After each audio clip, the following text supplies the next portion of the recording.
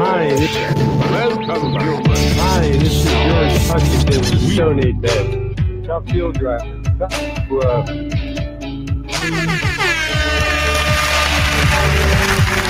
Now on Facebook Live and RadioBuzzd.com, this is George Hutcheson, the Stone Age Man. Hello, ladies and gentlemen. This is George Hutcheson, the Stone Age Man, tamer of wild beasts. Welcome, everybody. I appreciate you listening to me. All my friends on Facebook. Well, today we've got an exciting show, I think.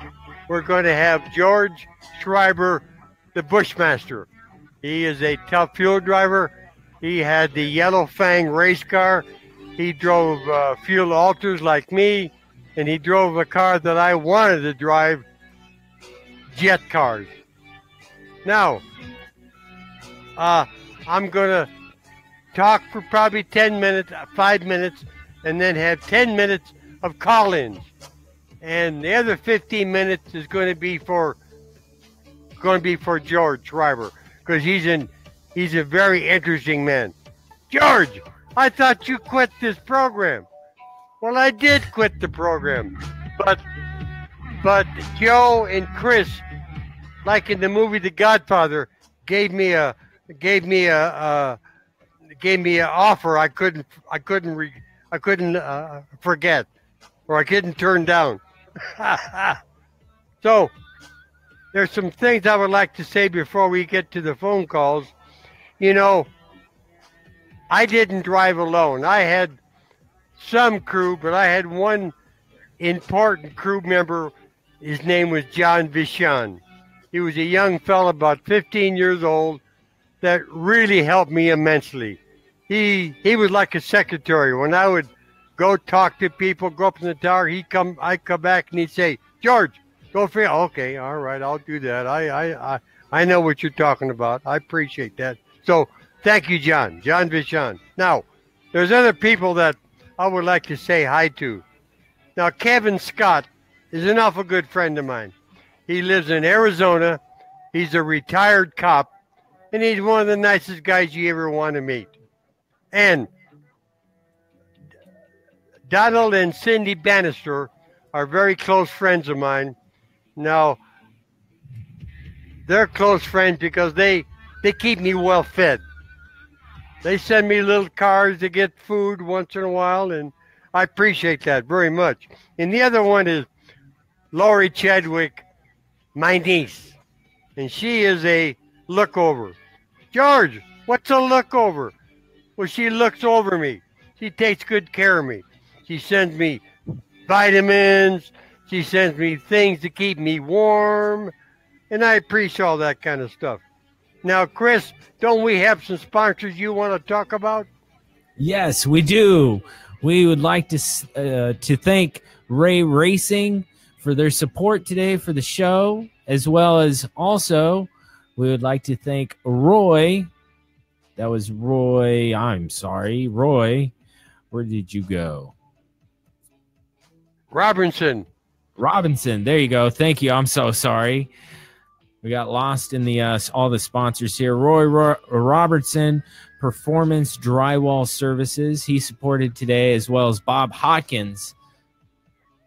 He supported us. Thank you so much for all those folks out there and everyone else listening in and joining George's show. All right, now on Facebook, like you guys know, there's a Bobby Fry of uh, Loud Pedal uh, Marketing Company. He tells me that he's got some T-shirts coming out of the Stone Age Man in a week or so. So kind of keep your eye on it, okay? Now, uh, Robert Borsch called in last week, and I got to apologize to you, Bob, because I didn't, I didn't quite hear your name, and I, I would like to have talked to you about, about you and your dad and the things that he did. But if we get a chance down the road, I'd like to have you call back. And do we have any callers ready? No callers, no huh? No callers yet. Okay, now next week, I'm going to have my nephew, Todd Hutcheson. Now, he's a character like me. He's been, he's a photographer. He's been all over the world. He's, he, uh, he's taken, uh, he's taken photography for a lot of, a lot of great magazines. And he, and he's going to be very, uh, very interesting, I think, because he's got a lot of good, he's got a lot of good stories. All right, we have a call coming in, Okay. and you're live with George Hutcheson, the Stone Age man. Hello. Hey, this is Mike Hayward. Yes, sir. Hey, my dad ran the Monkey Motion Fuel Altered. I saw you run a bunch of times at Irwindale in San Fernando when I was a little kid, and uh, let me tell you what, looking at that first rat trap with that flimsy chassis, it was amazing that you were able to get it down this track. Well, you know, eh, you know, Don was Don didn't have a lot of money, and he he did the best he could. You know that that he could. So when I started driving it, I took it to Race Car Specialty where I was working, and that kind of tightened the frame up a little bit. Oh, okay, that's great. You remember my dad had the car with the number six on the door. Yes, I think so. Yes, yes. You know, I call fuel altered drivers the separators because that separates the men from the boys. You know, some guys say, "Oh, what?" I say, "Hey, strap yourself into a fuel alter and go 200 miles an hour and tell me that's not a separator." You agree? Yeah, especially those old ones with the 98 inch wheelbases. Oh, oh, I know. I know. Yes. It was fun. It was fun because you never knew what the car was going to do. You just never knew.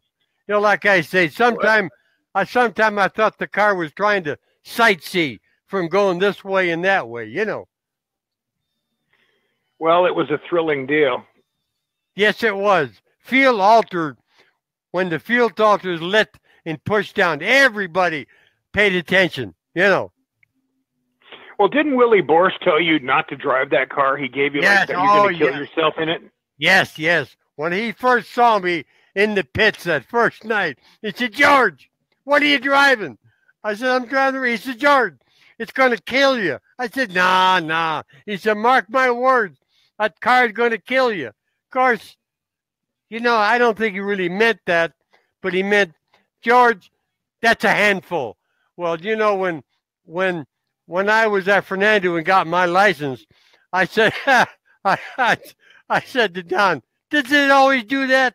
And he said, you haven't seen nothing yet. Didn't, didn't Harry? Didn't uh, Harry Hibbler drove that thing once or twice? Didn't he?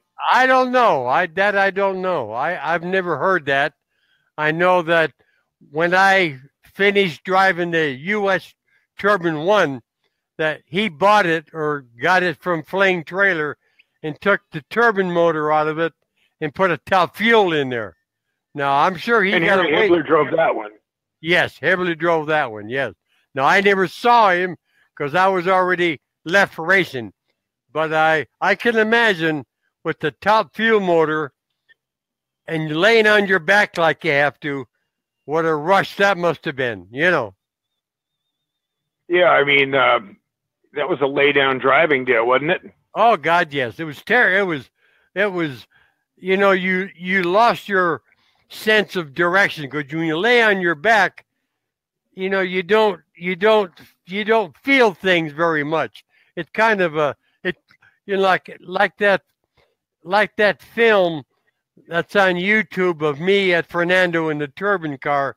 You know, that's been watched fourteen thousand times, and every time I look at it, oh, oh, I say, God, looked did like I it was that? all over the track on that. You know, on Yeah, when I- you got it down the track a couple times in that video, but there was a couple times when you, one time you got the cones. Oh yeah, I know. That was that was the beginning. I was trying to, you know, the car drove different every time, but I got to the point where I could feel what it was about to do. So the longer I drove it, the better I, the better I drove it. What kind of what kind of mile an hour were you doing on the top end? Well, I got, car? you know, depending on, on the track because I went to so many different tracks in Arizona because the track was so hot. I went 250 miles an hour. Now, some tracks I would do. That was in that car. That was amazing. Oh God, tell me about it. Tell me about it. Tell me that story about the one where the, you had the cameras on the car and something weird happened. I can't. Now you told me some story once about that where the, you had the cameras on the car to take pictures and yeah, something that, weird happened. Right at the PDA meet, I was making exhibition passes, and and the guy from Newsweek magazine put a camera up front, and we put a wire along the car and put the and put the uh, trigger on the steering wheel. He said, "All you got to do, George, is just keep hitting the trigger, and it'll take pictures." Okay, so here it was, you know, twenty thousand people here at Lions for the PDA meet, and when I lit the damn thing, you know, I concentrated on hitting the button. And what I do, my front wing hit the guardrail just a little bit. And of course, it, I shut it off. And Hibbler, I mean, uh, CJ Hart, we checked the car over. And then I went back and I made a full pass. But that pulling the trigger, you know, made me go. but I tell you, that turbine car made a believer out of you. Yeah. Um, I wonder if that car, if that chassis is still around somewhere. Uh, I really don't know. You know, you know, when I was driving those race cars, I was very, very well disciplined. I really disciplined myself because I used to write notes and I would go over it in my mind because, you know, it only takes one mistake. One mistake and you're dead. Did but, you did you tune Don Green's engine with for the rat trap? And were you the tuner or? No, no I just drove it. Don Don did the tuning. You know, Don uh, Don loved that race car, and he uh, was his baby, and I, I I was just a driver. The only car I tuned was the turbine car, the Stone Age man car. I had, you know, Doug Fisher. Remember Doug Fisher? I heard the name sounds familiar. Yeah, he had a balancing shop. He balanced crankshaft. He was an excellent. Was uh, your... Yeah, he was an excellent tuner. He did a good job for me. He was very meticulous. What's the story about how you got Pink's engine? I love that story. Well, ha, well, we got a couple of minutes, and I got George Schreiber coming on, so I'll try to make it quick. I was at Lions in my Stone Age man car, and this young kid came by, and he was looking in the in the car, and I let him sit in there. And the next week I was there, he brought a bunch of other kids, and let them sit in there. I said, "Oh, good. That's I don't mind. Let's get you involved." So one weekend, here comes Billy with the with the man that I didn't recognize, and he walked over to me. He said, "George, this is my dad, Ed Pink." I said, "What?" He said, This is Ed Pink. And Ed Pink said, George, I want you to come to my shop because I understand you have a, a big race in Las Vegas. He said, I'm going to put one of my motors in your car. Oh, oh, oh. So only because I had his son, who I didn't know who he was, name was Billy Pink. Ed said, I appreciate He's still around. He's doing carburetors now. Who is? Bill Pink is a carburetor guy. Is he? I thought he was NASCAR. Yeah, that's what he is. He, I think he does carburetors. Too. Oh, at NASCAR. Let yeah, me know, so, Chris. Yeah. Let me know when George calls in. Okay. Okay, George. Nice talking to you. Hey, the same. I appreciate you calling in. All right. Take care. Have a good one. You're welcome. Is George on the line? No. We got another one. We got more, huh? Now let me let me tell you, a friend of mine called in, called me on the phone a couple of days ago, said, George, his his name is Ed Hill. He lives in Pattaya, Thailand. When I go vacation, I go see Ed because he's a good guy. He's one of the good guys. Now, he called me and said, George, he said, I watch your tel- your television show. I said, what? Where are you in America? He said, no, I'm in Thailand. I said, How the heck did you? He said, George, Remember, it's a world wide web.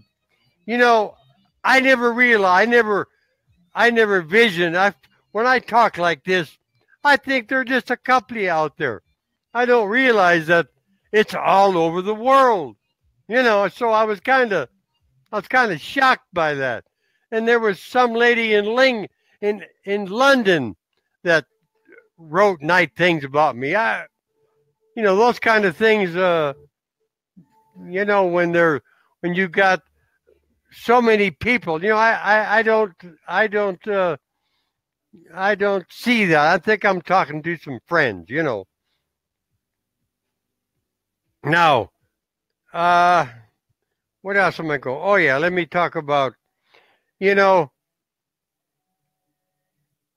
when when people come to the races, they always want to they focus their attention to drivers. They're always the drivers. They don't they don't pay attention to the crew or the or the mechanic or the engine man. It's the driver, and that's really not. If it weren't for the crew, and if it weren't for like John Bichon, for all the for all the things that happened, you know, I I I was jarred. I was jarred a couple times to see how the fans look at you. I had no idea that fans looked at us drivers like they do. I was in a, you know, I lived in Van Nuys. George hadn't called in yet. Uh, I lived in Van Nuys, California, and that's where the really the hub of racing is is in Van Nuys, California. And I was in a I was in a parts house. And there was two young boys buying parts. And I was standing waiting for my turn. And another young man came in and said, You guys going to drag tonight? They said, Yeah. He said, Hutcheson's going to be there, the Stone Age man. Now here I am, stand behind them. They don't know who I am. They don't know I'm the Stone Age man but they were talking about, oh, he does that, and oh, he does this, and oh, he's that. I tapped one on the shoulder. I said, hey, would you recognize the Stone Age man if you looked at him? They said, no. I said, well, I'm the Stone Age man. What? What? They said I had to get my wallet out and show my ID to show who they were. So, you know, I had no idea that that much of attention, excitement, and and and watch went on. Now, one time I was at Lions in the Stone Age Man car, and something happened at the the big end. I don't remember if my parachute didn't come out or I, I I never caught fire at Lions. I caught fire once at Irwindale. But anyway, the announcer was yappity yap about Hutcheson being uh, being at the end of the track. They sent an ambulance down there, and and uh, we were we were you know discussing it wasn't so bad, and here this 13, 14 year old kid ran up to me, hugged me, and said, "George, are you okay?" Now I didn't know that kid.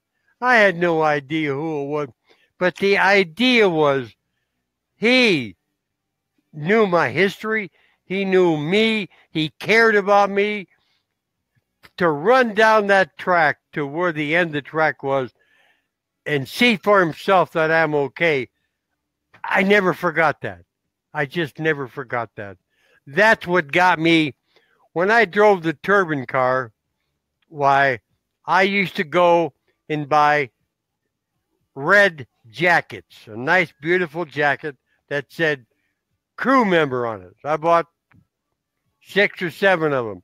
And what, before I would, uh, you know, that before I make passes, why I would go up in the tower and say, "Ladies and gentlemen, I'm going to pick some young man out of the stands, and I'm going to make him part of my crew for the rest of the day, and I'm going to give him a jacket." So you know, when we were young, when we were young, we all put a towel over our back and tied it in the front and pretended we were Superman. We all did that. So, so those kids that watch us as drivers, you know, they're doing the same thing. They go home and go, "Irma, Irma." You know, when I had my top fuel car at Larry Dixon's garage, Larry Dixon Jr., little Larry, used to sit in my top fuel car and go, rum, rum. I remember that. And when I saw him when he was older, ah, I don't remember that. He didn't want to admit that he, you know. So anyway, back to the story. I would get up in the announcer and I'd tell people, I want some young man to be part of my crew for the rest of the day. Now, there was hand. I said, raise your hand. Let me know if you want to do it. Come to the fence and I'll pick somebody out. You know, it was because of those guys at the port, at the parts house, and that young man that came by that I realized, George, there's a lot of people like you and follow you and and care for you in their heart. They really they really uh, are attached to you. So I would take this jacket and I would go down to the fence and I'd look at all the kids, you know, around 12, 13, 14 years old, you know, or something like that. And they were all raising. I told them, raise your hand. So I would look for the kid that was sitting next to his mom and did this, thinking this guy's never going to pick me. Ah! Well, that's, you know, that's the one I pick. I go, you. What, me? Yes, you. Come on down. So I bring him down. I give him the jacket, have him come around and spend the day with me. Now, what do you think that that young man, as he grew up, do you think he might want to drive a race car? you know, and the other thing, nobody's calling in yet. What's the matter? You go, you don't like me, folks? Huh? You don't like me anymore? Anyway, I used to give I used to give quarters out. When I would go to Chrysler agency with the turbine car or my Stone Age man car, I would get on the local radio and invite fathers to bring their sons. The father can look at the new Chryslers and the son can come over and talk to me. Okay. So when they were there, you know, a 12 year old boy has got an ima- imagination like that. You know, he's got a wild imagination. So when they would cook, come on, I let him sit in the car and I'd say, You see this quarter? I said, This quarter went 200 miles an hour. What? They'd say, What? I said, This quarter went 200 miles an hour. And I would give the, you know, you could see that that young man went, Wow, this quarter went 200 miles an hour. So, that, when I quit racing, and the years later, not too many years later, I was at J.C. Penney's, and I walked up to the counter. I was buying some cologne or something. This young man, about 18, 19, 20, something like like that, kind of looked at me and he said, "Are you George Hutcheson?" I said, "Yes." He said, "When I was a kid, you gave me one of those quarters." Now tell me, you tell me that that didn't leave an impression that that he recognized me to to tell me that you know I uh, those kind of things are the thing that warmed my heart that uh, that that I wasn't just a I wasn't just a driver that wanted wanted to win races. I don't know what happened to George. I'm going to have to all right, we got a call on the line, George. All right, go ahead. You're live with George Hutcheson, the Stone Age man. Uh, hi, how you doing? Fine. Who is this? This is this is Marty. Marty, do I know you from the Facebook? Uh, yep, I'm on there with Facebook with you. I I called. The reason I called was because I wanted to I wanted to ask you about um, what your personal life was like uh, going from track to track uh, all year long, every year. Yeah. And, and how it, how it, what it was like for you. Well, it was kind of it was kind of tough because you know when you're when you're at the races you you learn to like to eat hot dogs. Yeah. you know, Yeah. you know you, you learn to like hot dog. But traveling was you know, I would call up and I had a I had a, the turbine car is the one that I did most of my traveling. You know, and I would go to the local town where the racetrack was. I'd get on the local radio and I'd talk to the people, tell them little stories and and all this and all that. Some of the tracks were little, but they drew a lot of people. So Of course. a lot of time, not all the time. A lot of times I'd hear on my door, "What?" They say, "Can I have your autograph?" The word got out I was in town, and oh, oh, the people would bring things, and I'd sign it, and I have to put a sign on the door after 10, 11 o'clock. Hey, I'm going to bed. So you know, it was uh, it was uh, it was a tough life. It was a. I had a flat tire once on the on the trailer of the turbine car, and that was a nightmare all by myself, you know. But uh, really.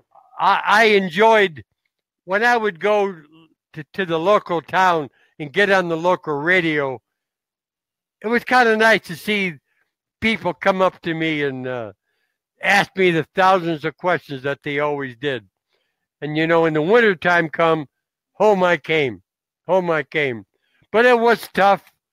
But uh uh but knowing that you got fans out there that are looking forward to see you, you know, that does something to you. It gives you a little Yeah. more uh yes, it gives you a little more energy, you know. But it becomes part of your life. It becomes, you know, part of who you are. That's right, exactly. That's part of your life, right? You know, living on Yeah. living in Van Nuys like I did every Friday night was cruise night.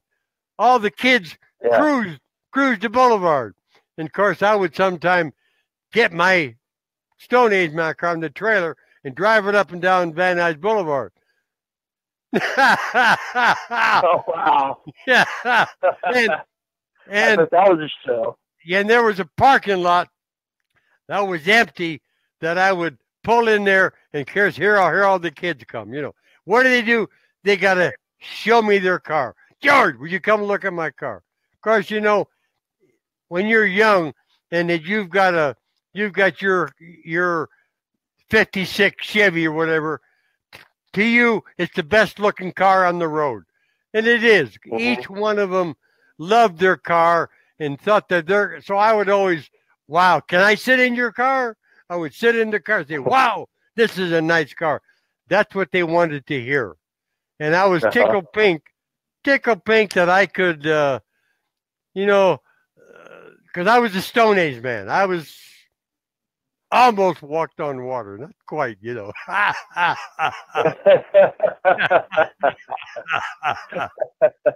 so I, Well, uh, you, um, yeah, you I know, did. watching uh, watching the races and watching uh, you with your image, with your your plumage of your helmet, and and the showmanship and everything was was just always something amazing to look forward to. Well, you know, like I've told people, I didn't win a lot of races, but everybody knew who I was. Yeah. I took my race car inside Sylmar Juvenile Hall and talked to the kids. Wow. I took my race car into high schools when they had a show, when they had a car show. I'd take my race car and talk to everybody. You know, the main thing, you know, going to the uh, Sylmar Juvenile Hall touched my heart. You know, I talked to those young men. I said, you know, I said, you think that you're the end of the world just hit you. You're sitting in here. When I was your age, I sat in the same chairs as you. I grew up without a father. I got loose, and my mom she, she wasn't that smart to uh, to keep check on me, and I got in some trouble. Nothing minor, but I got in trouble. So I know what you're thinking about. I to tell them, you know, folks, if if you don't have faith in yourself, how do you expect anybody else to? You know, you got to look in the mirror when you get up and say, "I love you. You're out of you're you're outstanding. There's nothing you can't do." You got to tell yourself that. If you don't, you can't wait till somebody tells you that. You're your biggest cheerleader. Exactly. You're your biggest cheerleader, and you're your biggest sep- skeptic too. So always remember Yeah. to love yourself. So I I enjoyed being the Stone Age man. I really did. I saw myself. Ah, don't laugh, folks. I saw myself as a Lone Ranger because when I was a kid growing up, he was my hero. I used to listen, turn the radio on, listen to the mighty High Old Silver, the Lone Ranger. Of course, you know, I bought the guns Yeah. and I bought the hat and I pretended when I was a kid that I was a Lone Ranger. Mhm. So I kind of, I kind of, you know, I, I saw myself as a Lone Ranger. And what did the Lone Ranger do? He stood for what's good. He always tried to help people. And that's why the fans meant so much to me. Because remember, Yeah. I'm I'm the Lone Ranger. I can't do bad. I got to do good all the time. You know, some guy wrote me last week and said, George, you were always cool and you were a sharp dresser. Well, I did that. I wore white pants. I took two pair of white pants in case they got dirty, clean shirts, because I wanted to look the part. I'm the Stone Age man. I can't walk around with dirt on my shirt or dirt on my pants. I, I got an image I have to keep. So, you know, I, I, I, I'm sorry that I walked away from it, but at the time, you know, my original intention was to get my top fuel license and flash it. Get my license and then say, that's it, I'll do something else. And say, oh yeah, I did I did that. Here's my license. But you get hooked. You know, it's like a drug. You drink the Kool-Aid. you know, you drink the well, you've Kool-Aid. come a long, you've come a long way since then, you know, and and you still are the Stone Age man. You know? Well, I I appreciate that, sir. You know, I I when I was driving, I was very disciplined. Because you can say now I'm not that disciplined. I just I'm a I'm, I'm a I'm a character. I've got a funny bone in me. I laugh at things you shouldn't laugh at, but I love myself. Mhm. I'm proud of myself. You know, I just uh, I look back. I wish I'd have got married. I wish I'd have had a son, but those are wishes. I chose a life. You know, I flew in the Civil Air Patrol. I had my own airplane. I flew all over the country. You know that Oh. that uh, that uh, adventureness that I had that when I was driving, it didn't go away. You know, it's still there. Yeah. It, it, it, the life that you lived is the life that you were meant to live. Say again. The life that you lived is the life that you were meant to live. Yeah, I know. You're, you're talking about missing out on something.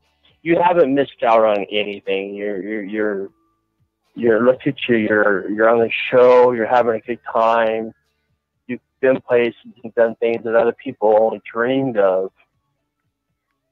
Well, you know, what what tells me I was meant to be the Stone Age man. You know, I had a dream and saw this helmet in a dream. The same Mhm. plumes on it, the Roman thing. I saw that in a dream. No, where'd that come from? Where'd that come from? So I got up that morning, I sketched it, and I got balsa wood and uh, resin. I made, I formed it myself until that mind's eye view I had in that dream. I said, "That's it, that's it." You know, in the in uh, Bill Carter or Frank Hedge, when I used that motor, the Stone Age motor, when Bill Carter said, "What are we going to name the race car?" So I've got who's on the call? George. Ah, So, we those- All those things, like you said, I I was meant to be the Stone Age man. You know what I'm saying? Yes. Well, I Yes, appreciate sir. you know it it warms my heart when i when people talk to me on facebook and say i remember this and i remember that and and you know you touched me well that's what i wanted to do i was i grew up without a fa- without a father and i had no direction in life if you want to say that a, a policeman a police. I got in trouble in the Leo Rep when I became a reserve policeman. Why Leo Rep was the officer I rode with. Well, he was the one that come to my house and made sure I was on that I was doing the good things. A policeman come around to my house and saw to it that I was toeing the line. Now, when I got old enough and became a reserve policeman, I couldn't wait to ride with my buddy Leo Rep because uh, he he was like a father to me. He was like a I looked up to him, and he was a he was a terrific policeman. He was the kindest. You know, when you go to a situation where a lot of arguing going on, well, he calm them down and say, "Don't worry, it's it's okay. Don't worry about it." So We have another call coming in. Let's take this call. Hey, what's happening? Hey, it's Joe Wall on the line. What's up, George? Hey, Joe, how you doing? I've been listening to your stories, brother. I'm so glad that you uh, decided to stick with it, and I'm sure all the listeners today are really, really stoked because I saw you got tons of people watching the show today, brother. So I'm proud of you. well, good. You know, I think there's maybe two people out there. I think you know. Yeah, when, you, when you're sit when you're sitting in the room by yourself, like me and Chris do, we're all alone. That's it. There ain't nobody out there. That's But you right. know There's nobody out there. Is right. We're all listening. Now, how yeah, come? we're watching you, buddy? Good. Now, how come George Schreiber didn't call in? I gave him the number. Uh, maybe he's been trying to call and we're all talking. So I just wanted to tell you, brother, I was listening. I'm glad you're sticking with it, man. Your show's going to be kick ass, brother. Why? Thank you, sir. Thank you, sir. I appreciate that. I'll I just wanted to say hello, brother, and uh, you're doing a hell of a job, George. I thank you, sir. Thank you. I'm just an old man. That's all. Uh, we're all old, buddy. We're all getting old, so it doesn't matter. All those Hey. guys out there listening, share it with your friends. Tell them the Stone Age Man is back. I know they're doing a T-shirt for you. I saw that those guys are making a T-shirt, the Stone Age Man. So I just Yeah. told them to make sure that we get some T-shirts. Yeah, Bob Fry is supposed to be making T-shirts for me. He said, "Of course, I haven't seen him yet, but if he says he'll do it, he'll do it." Oh yeah, Bobby Fry. I, I talked to him about it a couple of weeks ago. He he goes like, oh, he's on our show, so we got to make sure we get some of the Stone Age Man shirts. So tell everybody out there, the Stone Age Man T-shirts are coming, man. We got to get them, sell some T-shirts for the man. That's it. That's it. That's Hey, it. we're making money for you, buddy. All right. All right. I appreciate that. I appreciate that. Well, I just wanted to call and tell you we love you, brother, and you're doing a hell of a job. And everybody out there, share this uh, uh, show with them, so that way George can become world famous one more time. Ah. Everybody, give him a round of applause. and Tell him how much you love him, and call in and tell him. Well, I appreciate it, Joe. If it weren't for you, I'd never have this show, and I appreciate that. Believe me. Uh, don't you worry about me, buddy. You uh, just do what you do and have fun at it, man. And I'm glad that you're part of our family. Thank you, sir. Thank you, sir. I'll, I'll stop interrupting and let you go on. I'm, I'm almost to my destination anyway. But you have a great show, brother, and I'll talk to you soon. All right. Take care. Take care. You got it. The Stone Age Man, ladies and gentlemen.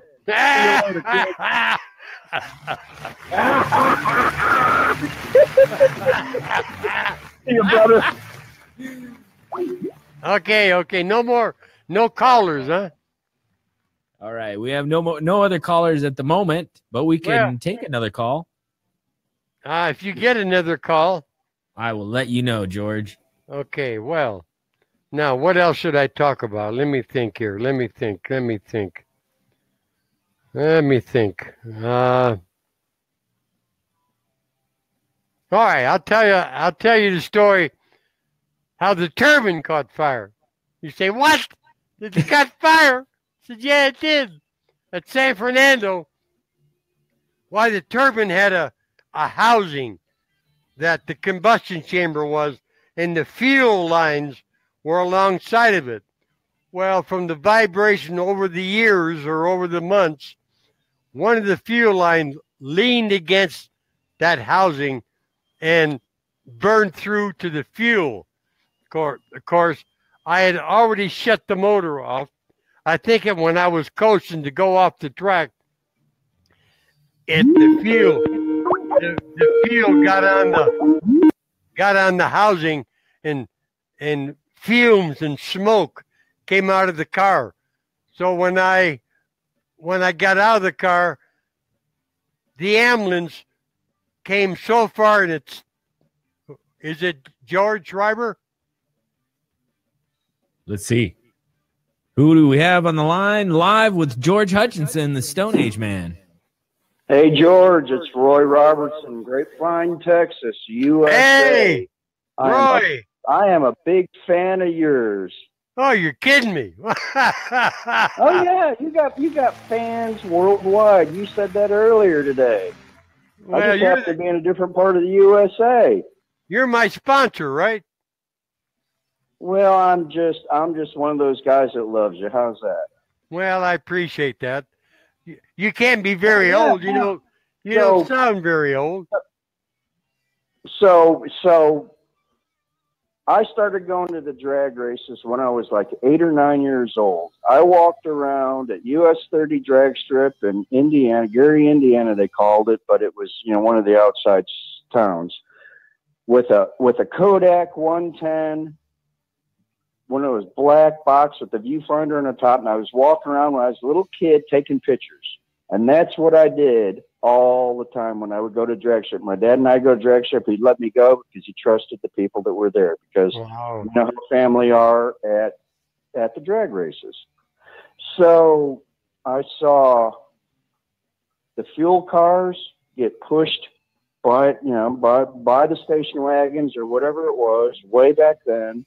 I saw Prudhomme getting pushed down down the track from the other end with uh, with the Safari station wagon. I saw the rollers starting the cars later on, and then I saw the the, the starters off of the off of the the blower noses.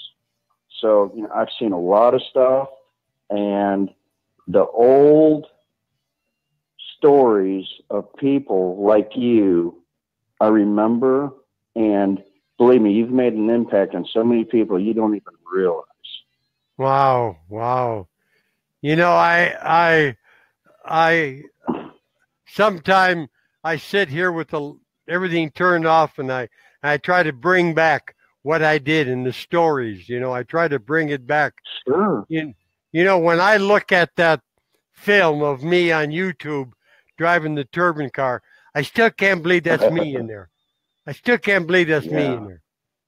Because it's uh well, I I know I know the uh, the stamina it took to strap in that car and take a chance to step on that throttle because you never knew what it was going to do. And I always had to kind of how fast? it how went fast did that car go? it went 250 in Arizona. Other places it would go Okay. 220, 210, 230. It depends on the track. You know, when I when I stepped on that throttle, it got to 72,000 RPM in seven tenths of a second. So you can imagine the wheels snapped. It just G forces, right, buddy? yeah, I was kind of like on ice. I was kind of like on ice because it it didn't catch up to the track until about three quarters of the way down there. I could feel it kind of settling into the track. That's what made that car. You know, so Yeah. difficult. You know, and you couldn't Yeah. you couldn't you couldn't lift your foot because you shut the motor off. Shut the motor off. You Mhm. to take the cowling off and push a reset button. So I had to stay with it because sometimes I was getting paid a thousand dollars. I couldn't say, oh well, I got a little squirrely folks and I had to shut it off. You didn't get paid to shut it off, you know. So yeah, it was yeah, no, it's yeah, that's that's that's too good. It's all about the show back then. that's right. So that back then, go, growing up, going to the drag strip back then in the '60s and the early '70s was a completely different experience than anybody even realizes. Oh, I have know. friends that drag race now, and they've only been doing it like five, six years. And I start talking about, you know, about the things that are more recent than than you, and they had no clue. And you start telling them all the stories, and they're going, "You got to be kidding me!" You go, "Oh no, it was it was about the show." You know, and you, you get the match races, and you know, Yeah, right. and you get the funny cars out there and it's like us 30 drag strip. They would they you know there were circuits and and all those guys would go in match racing and you'd have 16 car field or or you maybe you'd have maybe you'd have a couple just show up but some of those where they had the couple or four cars and people don't realize this but way back then they used to take and the loser tow car would get burned they would have a big deal about burning the, the loser's tow car back in a seat. Wow. This was at 30. I don't know about other places. But, you know, and then they'd, they'd fake the fights at the starting line between racers. You remember those days. And, and it was all, the crowd would just go crazy. It was about the show. Now they've lost the aspect of what the show really was back then. And That's right. It's all it's all money. It's all money. They got two or three spare Yeah. motors. Yeah. Yeah. Yeah, yeah, and you know, and it was that. I'm so glad to see the nostalgia stuff come back, and it's it's rekindled my interest in it all, and so many others, and it's grown. It's just like the March meet this year. We we flew out there to the March meet this year, and it was you know the 60th anniversary. We went last year. I'd never been. I read about it all my life, and I, I literally learned how to take and read from car magazines and National Dragster. And what I couldn't read, my mom would read to me. And that's how I grew up in this stuff. So, Wow. so understanding and appreciating what all of you have done really goes to heart with me. And I just want to let you know that. I sir, I appreciate that. You warm my heart. You warm my heart. Well, You know, when I was when I was driving the rat trap, that was a showstopper. You know, we pushed down, Yep. we both lit and turned around and and rut, rut, you rut the motor, you move a little bit. And Willie, you go, rut, rut, he move a little bit, and then rut, rut, I move a little bit. Rut and rut, rut. You know, the people were going crazy. People were going crazy, you know. Uh-huh. oh yeah. you know, it was so much fun, and that's that's that's why I appreciate you. I mean, it's it's you know going back to the show. It's like when I first went to the drag strip, the very first time we were on the. I remember that we were on the on the spectator side, and it was double A gas cars. It was Stone Woods and Cook. It was Junior Thompson, John Mazmanian, all those guys. so and you that was never my saw first me one. I was drive, little right? bitty. So you never saw me drive, right? No, no, I didn't. But I've read about you. Oh, okay. I mean, like good? I I said. I, I, I, I grew up about in it, reading it, and I read about you, and that's Wow. why it's so valuable for me to be part of this. It's just great. Wow. I'm glad you are there, and I really, really want to see you continue on with this because you you add a perspective that people don't even realize what it was like way back then. Yeah, it was. It was di- uh, certainly a lot different than it was than it was now. You know, you look at those guys; they yeah. don't care about the fans. They don't care about all they care. No. How quick did I go and did I win? That's not what. Yep. That's not what the fans come. They don't care how fast you go. They want to. They want to show. They want. They want to see that you're paying attention. That they're watching. No, and you know, and it's like I was reading something today on Facebook. Facebook is the best thing that ever happened for nostalgia racing because all these people have these shows. They have these, I mean, not shows. They have these photos. They have these stories, and you you, you get back into into the history. It's like Roger Roger Lee and his his recreating these these fuel dragsters from way back then when and you know there's so many people like that and it's just it's just going crazy and i really really I'm just so wrapped up in it because that's what i grew up in Wow. and wow. that's again it, it just goes back to people like you and i really appreciate you i just wanted to call in and tell you that well, and thank add a little sir. fuel to the fire You know, my nephew Todd wrote a book about me called The Chronicle of the Stone Age Man. And if you want to buy one, you can go to backinthedaystore.com. It's only $20 and it's got every picture of me, my story, what cars I drove. Every once in a while I get it out and I, no shit, did I do all that? You know. yeah. yeah, no, that's back in the day store. I'll Yeah, back in the day store. And it's a chronicle of the Stone Age. Well, thank you, sir. right, well, I don't, I don't want, I don't want to I don't want to steal the airspace too much more. I just No, wanted to call in and tell you how much I appreciated it, and Well, that's sir, why Grapevine, Texas is you've supporting you. touched my heart. You've touched my heart, and I thank Oh. you, sir. At my age, I need Oh, that yeah. once in a while. All right, buddy. We'll, Thank you, uh, sir. we'll look forward to the next one. Okay. thank you, sir. Thank you, sir. Oh, thank you. Love you, buddy. We'll see you later. you. Bye. Love you too, sir. Bye bye.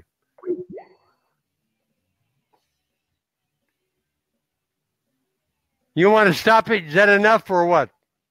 Yeah, we're getting close to wrapping it up. We could take Yeah. maybe one more call. Did you you had George Schreiber? He was supposed to be calling in, right? Yes, I, I don't know what happened. Oh, Maybe okay. you forgot. Maybe he forgot. So if anybody's out there, they uh, know George, give him a call, text him, yell at him, Yeah, or we'll right. just make him feel guilty. yeah, well, I called him this morning and said, George. He said, All right, I'll do it. I said, He said, What time is your clock? So we time. I said, We got the same time. I don't know what happened. He's a good guy. He's a character like I am. All right. Well, we'll get. That last fellow that called in, thank you, sir, so much. You know how much that that means to me. You know, you never realize what people, you know, you don't see yourself like other people see you. You just don't. You see yourself differently than than you folks do, and I I appreciate that. I really do. I I uh, you probably extended my life a couple months by that. You know. No more calls. We should call it no it. more calls. We should right. call it a night. Okay. All right, George. We're going to call it a night. Thank you, everyone, for listening to the George Hutcheson Stone Age Man show. Did you have something else you wanted to close? Yeah. Thank you, folks, for listening to me. God bless you for listening to me. And don't forget, God bless this greatest nation on earth, the United States of America. Good night. George Hutcheson, the Stone Age Man. Join us next week at 6, 6 p.m. Pacific Standard Time, right here on Facebook Live and syndicated on RadioBuzzd.com.